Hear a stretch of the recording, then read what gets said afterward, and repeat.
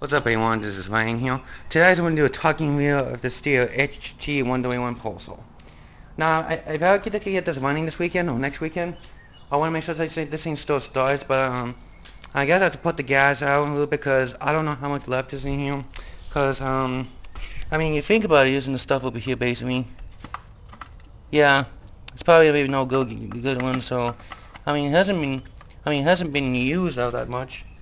But, you know, I mean, because if it's if it's just still runs, we might put a new bar in channel because they're completely dull. I know you can see, but it's probably not what you expected to see. But um, it's a very good pole saw in my opinion.